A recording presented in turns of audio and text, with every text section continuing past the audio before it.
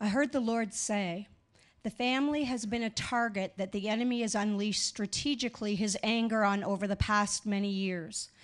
He has set a plan against the family to bring destruction and demise.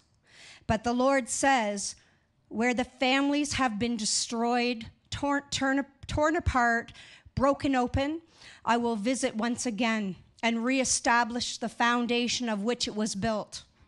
Just like the church who is being rebuilt by my spirit, I am rebuilding the family structure.